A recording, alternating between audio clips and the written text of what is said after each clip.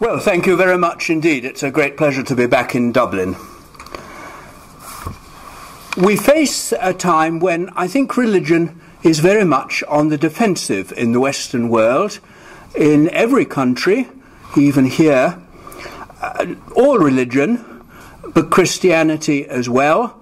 Sometimes I think people uh, presumably against Islam, but want not to be thought racist, and so they just say religion, and then Christianity is also in the firing line. But there is, as our chairman mentioned, also a lot of anti clericalism around. Uh, the French doctrine of la laïcité, the idea that public life should be secular, says it all because it says something about the importance of laicity. Now, in other words, it's anti clerical. And I think that's written deep into the history of France, and it influences Europe. Let me just quote from something the Council of Europe Parliamentary Assembly said a few years back. It sees human rights in opposition to religion rather than underwritten by it. And I think that's very much a French and to some extent Spanish attitude. Human rights are to defend people against the authoritarianism of religion, against theocracy, against oppression, against the Inquisition. Uh, that, in fact, freedom demands that we get rid of religion or at least keep it in its place. The Council of Europe, which after all includes representatives from the Republic of Ireland, the United Kingdom, uh, etc., uh, said this States must require religious leaders to take an unambiguous stand in favour of the precedence of human rights over any religious principle. Now, what I find so interesting about that is the calm assumption that somehow human rights and religious principles are opposed to each other. They have nothing to do with each other. If you're religious, you're going to be against human rights. If you believe in human rights, you've got to challenge religion. Now, as I've said, that's rooted in France. You remember that the slogan of the French Revolution was Liberté, Égalité, Fraternité. And incidentally, I don't think you can understand those words outside a Christian context, really. Um, why do we believe in freedom? Because God gave us free will. Why are we equal? Because we're equal in the sight of God. Why are we brothers and sisters? Well, that makes no sense at all unless you believe in the fatherhood of God. So these are ideas that grew out of Christian soil. People might say, oh, well, that was the background, but they're now free floating. We don't need Christianity. Indeed, we can judge Christianity from their standpoint. But there is a different story about rights. If you look across the Atlantic to the United States, if you look at the American Declaration of Independence, you will see the statement that all men are created equal. And note the word created. They're endowed by their Creator with certain inalienable rights. In other words, rights are God given. Rights aren't opposed to God or Christianity or religion, they depend on it. They're given to us by God. It's because of what human beings are because of how we've been made, that we need to respect human rights. And that's a view that's written deep into the American consciousness, and it makes the difference between an idea of the separation of church and state in the United States, which is certainly not the separation of religion and society, and the view of laicite in France, which is very much we will marginalize Christianity, uh, it's a private affair. It was mentioned that uh, a subtitle of one of my books was uh, Must Faith Be Privatized? There's a great movement nowadays to, in effect, keep religion in its place. It's all right to be religious if you want to go in a building and do something funny on a Sunday morning. Don't bring it out in the street. Don't let it have anything to do with public life. You can be free. You can have freedom of religion only if it's freedom of worship. If you once come out and start saying your religion actually affects other people, or that we have some insights into the common good, oh no, we mustn't allow that. And so there is this movement to privatization. It was very recent in the English um, Court of Appeal that uh, a judge, Lord Justice Laws, said that religion is basically subjective and irrational. Uh, in other words, reason can't approach it. It isn't subject to normal standards of evidence. Uh, of course, you can respect it insofar as you respect people. Let them do what they want. You're not going to be stopped from playing golf. If you want to go to mass, do. Uh, but that's it. Uh, it's nothing to do with anything else at all. And of course, that means then that religion has nothing to do with natural rights, human rights. And that's very different from the early Enlightenment. One of the clues of, between the difference between France and the United States is that France was really influenced by the later Enlightenment, the materialists, atheists even. The United States was influenced by the philosophy of people like John Locke. And he uh, was the apostle of the Glorious Revolution in 1689 in England, uh, but a hundred years later he also was the almost the patron saint of the American Revolution, the War of Independence. And there, uh, people followed his views about toleration. And he grounded his view of natural rights in a theistic view of morality and reason. He saw that we were equal, as I've said, because God created us. Locke is sometimes seen as an empiricist, science based philosopher.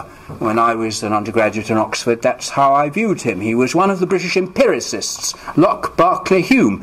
But Locke was a very committed Anglican. He was a Christian. He believed, following the Cambridge Platonists, that reason uh, wasn't free floating, it was the candle of the Lord, it was based in God. And that meant that the rights that we see through our reason are also based in God. Well, that isn't what's happening in Europe at the moment. Uh, but the history of Europe is Christian. As I've said, uh, people can say, oh, well, yes, that's a historical fact, but we don't commit the genetic fallacy just because something grew out of something doesn't mean it has anything to do with it in the sense of being justified by it. But Europe has always recognized that people have fundamental rights and freedoms as human beings rather than as members of states. When I said it always has, in its better moments it has. And in the words of an Italian philosopher and politician, Marcello Pera, this is the secular homage that Europe pays to the Christian tradition. But he now worries about an obvious intent to erase the Christian history of Europe. I expect you can remember how the idea that any reference to Christianity should occur in the preamble to the Lisbon Treaty of the European Union uh, was uh, regarded as anathema. Uh, that uh, the notion of Christianity being written into anything to do with Europe was absolutely ruled out. The famous German philosopher Jürgen Habermas also sees what he calls egalitarian universalism uh, as being the source of ideas of human rights and democracy, and they're the direct heir of the Judaic ethic of justice and the Christian ethic of love. Well, the result of all this is that there is a basic dispute between those who see natural rights, human rights, as anchored in our view of human beings as creatures of a creator God, and the idea of religion, in particular, and Christianity and, uh, uh, as well, the idea of it as an oppressive force from which the public square has to be cleared to allow freedom to flourish. Well, what is the rational basis for a belief in human rights? Uh, I think it's terribly important that we ask that. Uh, too many so called postmodernists are likely to talk blithely about human rights, but they don't believe in truth or reason. Uh, but they think, oh, well, this is what we believe in. But who are we and why should we believe in them? Why should we go on believing them? Why should we teach that they're important? Um, if you're not careful, you'll find that human rights just become what oh, East Coast liberal Americans happen to believe in, or something like that. It, it's a relativist view. We've got to ground it in something about what it is to be human, to justify them. We've got to be able to say to people who don't recognize human rights, you're wrong. this is how humans ought to be treated. That is how they ought not to be treated. I think human rights uh, lie at the root of democracy. Um, why is democracy important? It respects human rights, but you need human rights for democracy to work, for each individual to be accounted as being of equal worth. And that raises the question why then do human beings uniquely matter? Why are human beings important? The United Nations Declaration of Human Rights says recognition of the inherent dignity and of the equal and inviolable rights of all members of the human family is the foundation of freedom, justice, and peace in the world. Well, I, I hope that isn't going to be too controversial. But why do humans have an inherent dignity? Uh, it isn't obvious that they do. Uh, the world is full of people who believe that they don't. And uh, uh, there are plenty of regimes that care nothing for human rights. Um, even the Chinese, I think, would say they're just a Western construction, a bit of Western ideology. They don't believe in human rights. They just uh, regard them as a bit of rhetoric that the West uses to bludgeon them with. But I think they're much more important than that. They're pointing to something that's true about human beings. Well, why do human beings have inherent dignity? Why is it that what matters to each human being is important? One philosopher, James Griffin from Oxford, stresses that our dignity lies in our capacity to choose and to pursue our conception of a worthwhile life. In other words, it resides in capacities, what we're able to do. I'm not going to get too involved in philosophy, but uh, that's a particularly Kantian view about philosophy. It's like his stress on rationality. Human beings are important because they're rational. Well, all right, that's important enough, but um, it makes choice, consent, autonomy of central importance. They're all things that liberals think terribly important. What happens to people I think we would regard as human who aren't in a position to make choices, to give consent, exercise autonomy? What about people suffering from Alzheimer's? What about small children, babies? What about humans who uh, are always um, going to be in some way unable to exercise true human capacities for whatever reason? It's very tragic. But are we going to say they don't matter? Now, if you're saying rationality matters, choice matters, the ability to pursue our conception of a worthwhile life matters, people who aren't in that position anymore, well, are they not human? Don't they have rights? Do they have no dignity? Well, I would say that actually that isn't doing justice to the idea of human rights that actually we think that humans matter because they're human. And I think this drives us back to the notion that the reason that humans matter is because we are loved by God. If you want to pursue it in a Christian doctrinal way, you can say the incarnation, God becoming human, shows how he regards human beings. Now, one point about human rights as well that I think is very well worth bearing in mind is that they are, if they exist, if they are supposed to matter, they are objectively true. In other words, it isn't just that human rights uh, are what I believe in because I believe in them.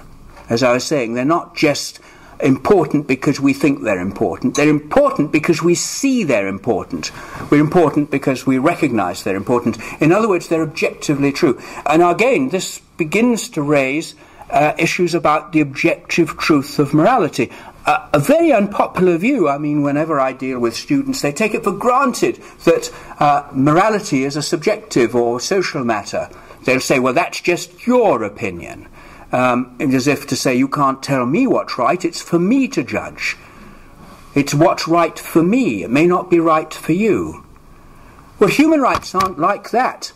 Uh, if you go to, I don't know, Zimbabwe and uh, saw the way that Mugabe might want to treat people, uh, the fact that he doesn't think that human rights matters uh, would be sufficient in this view. Well, they might be true for us, but they're not true for him. But I would want to criticize what he might be doing or what other uh, people, perhaps even worse, might be doing.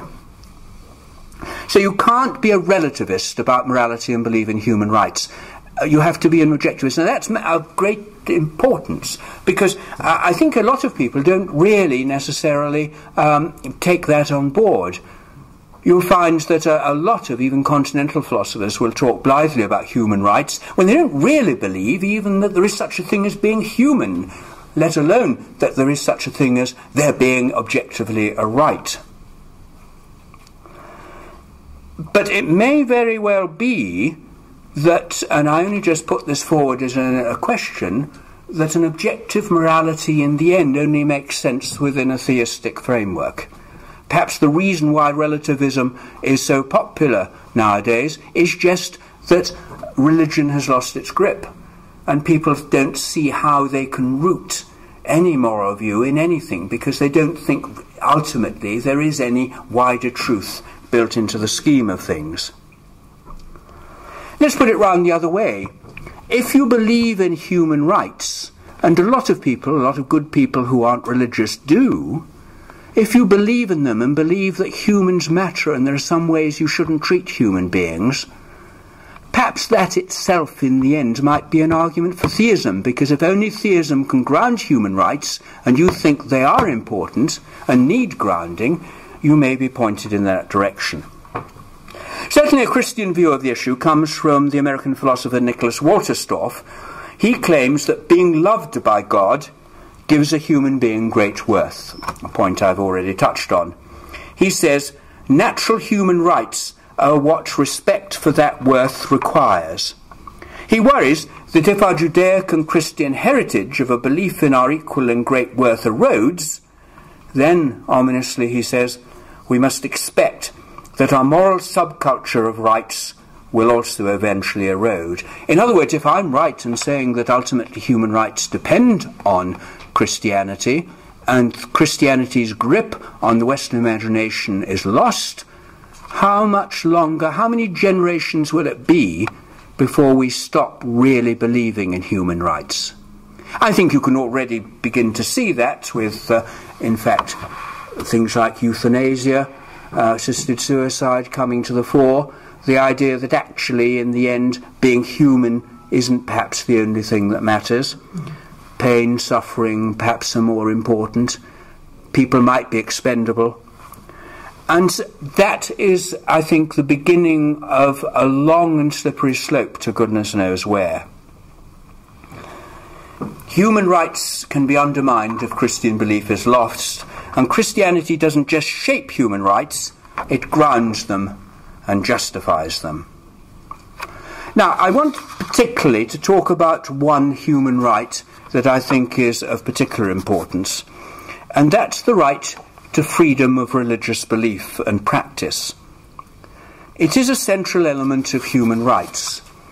Uh, there are plenty of people, and again, it's all part of the general campaign against religion nowadays, who would want to say, actually, we don't need to talk about freedom of religion anymore. Uh, they don't want actually to say that people who are religious can't practice their religion. They realise that's going a bit far. But they can say, look, we can let them do what they want without actually talking about religion. We can talk about freedom of conscience, freedom of assembly, etc., freedom of speech. Um, we don't need to protect religion as such. We don't need to say religion is of importance in society. Well, I think religion is of particular importance in society. It's very deeply rooted in human nature. And uh, one particular problem of religion is that it posits a centre of authority which opposes that of the state, or at least is different from that of the state. The state even being the will of the people in a democratic environment, too. Um, if the majority thinks something, actually you might find some Christians object to that, and the majority may not like that. So uh, you'll find that religion is always claiming a different place to stand from where a lot of people want to stand, or from where the state wishes to stand. As a result, it's always going to be in the firing line. You'll notice that totalitarian states always want to uh, control religion or eliminate it. Uh, in communist China, for instance. Uh, the great aim of the state is always to keep the churches under control, to have them as patriotic churches, with the bishops appointed by the state, not the Vatican, etc. Uh, because they don't want the church positing a different source of authority. So there are reasons for protecting religion. In the United States, uh, Americans are inclined to say freedom of religion is the first freedom. Now, they say that because it's mentioned first in the First Amendment to the Constitution. But they think it's more important than that. They think it's there first because the founders, people like James Madison, thought that from freedom of religion everything follows. You can't live in a democratic society unless you're free to practice and speak about what you think most important, and by definition, that's going to be religion. If you're not free to adopt a religious belief and live by it, you aren't really in a free society. You can't really contribute to democratic debate. And that means, in the end, that even our commitment to human rights will then be at risk. Now, uh, let me just say for a few minutes that I think that this freedom of religion uh, can be very misunderstood. A lot of people on the continent, and this is going back to what I was saying earlier about the different sources of uh, Enlightenment views about freedom and about rights, a lot of people on the continent would see freedom of religion as important as a way of guarding against interference from the church or against a kind of theocracy, authoritarianism of the church. Again, it's the anti clericalism coming up. In other words, it's freedom of religion is, is freedom from religion, not freedom for religion. And they would see that actually freedom of religion, therefore, is something that comes in to loosen the shackles of tradition, the ancien regime, um, the hidebound views of uh, traditional religion, and to let people reason for themselves. And the, the idea there really then is that religious freedom not just doesn't have anything to do with Christianity, but you need it to resist Christianity. Now, I think that's a fundamental misunderstanding of religious freedom. I think it is rooted in Christianity.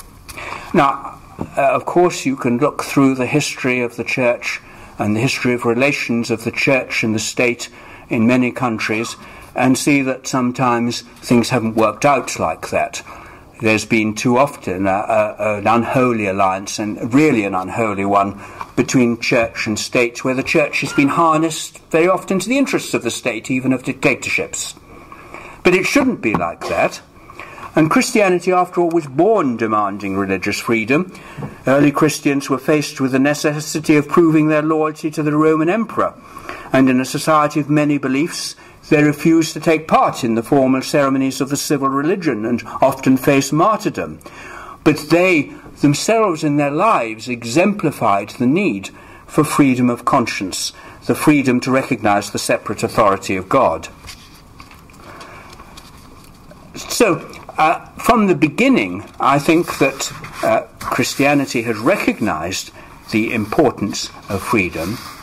But if you look back at where modern ideas of democracy and religious freedom, and the two are closely linked, where they came from, uh, I think you can see that they are rooted in particular Christian views about uh, the whole uh, nature of human beings and their relationship of, with God. Last year was the 400th anniversary of the publication of, I think, the first book advocating religious freedom in England. It was by an early Baptist called Thomas Helwys. He wrote a treatise upholding the idea of religious liberty. It was just uh, a year after the publication of the authorized version of the Bible approved by King James.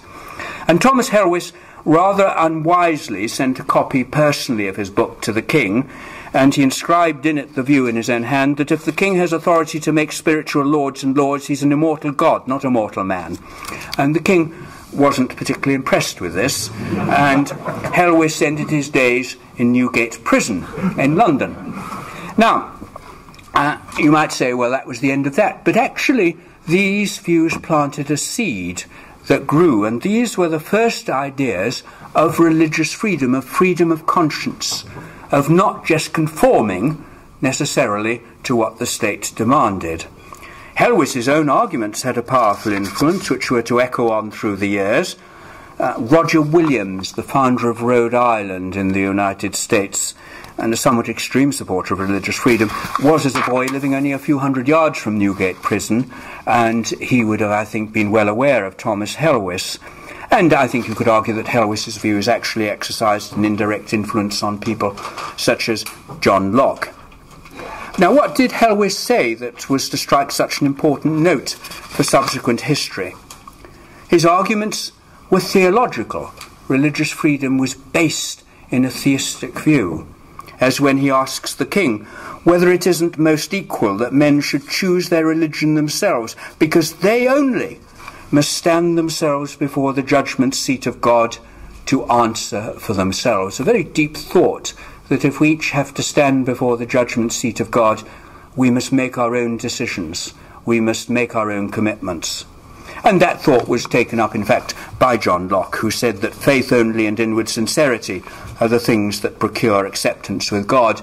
A thought that again was taken up later by Thomas Jefferson and influenced the United States Constitution. Helwys also drew a distinction between an earthly kingdom subject to the king and a heavenly kingdom over which the king could have no jurisdiction. The king could rule over people's bodies and goods, but not over the spirits of his people. This was the thesis of two kingdoms, which influenced much Protestant thinking. Uh, it's not a thesis, actually, that I myself am happy about, because you can immediately see where this is going. Uh, spiritual things are your own affair. Anything in public is the state's. Um, then religion must be driven out of public life. And you can almost see this in the European Convention of Human Rights, where there is a clear distinction between personal belief, which is an absolute right. You can't be stopped from believing what you wish, and the qualified right to manifest your beliefs. Now, I don't think a qualified right to manifest your beliefs is worth all that much. A totalitarian state, I think, would be quite happy for people to believe what they wanted as long as they never said anything about it, acted on it, or let it affect anything they did. In fact, I think that was probably often the situation in communist uh, Eastern Europe.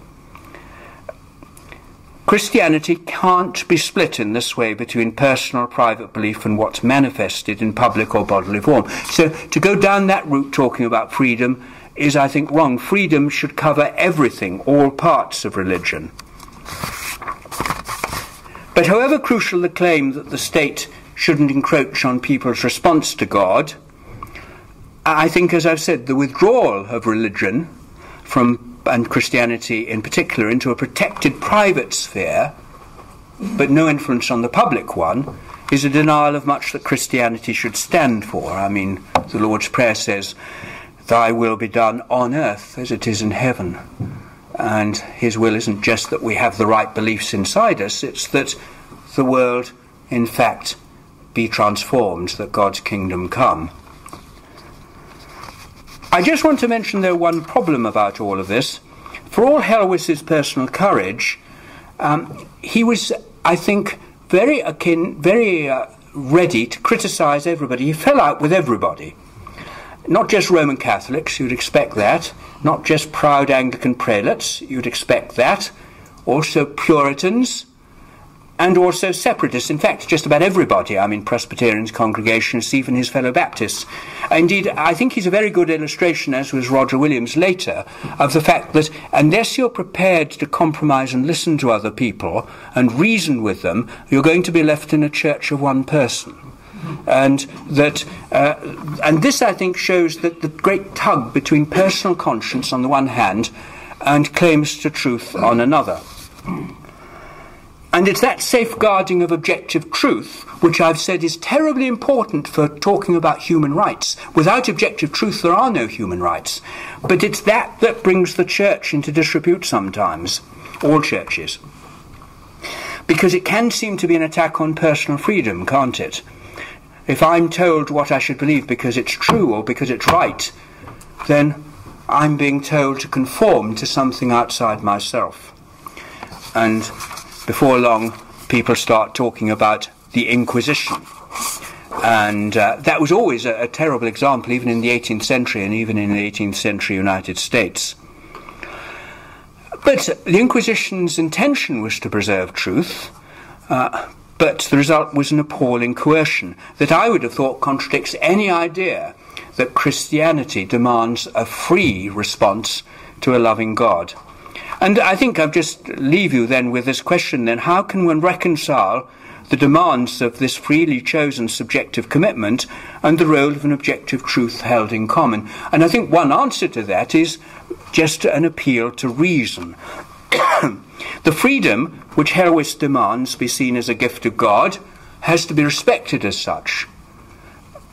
We all have rights, and our freedom is one of the most precious rights of all. But with it comes the gift of reason. The very fact that we must recognize each other's rights shows that we are in the business of reasoning together. We don't each make up our minds in isolation, but can share in reasoning about what's true. Without freedom, we can't properly judge the truth for ourselves, but without the ballast of shared reason, we'll each flounder in a morass of subjective opinion. Um, now, unfortunately, of course, if you go too far in just not listening to other people, you get into the situation that some followers of Thomas Helwys got into, which was namely the English Civil War. And of course, this again um, is one of the things in the history of Europe that turns people against religion. They think religion sets people against each other, it causes disharmony, uh, it doesn't bring people together. And that's, of course, the reverse of what Christianity should be doing. So, certainly freedom is important, but freedom without reason is dangerous, and reason without freedom is impotent. Thank you very much.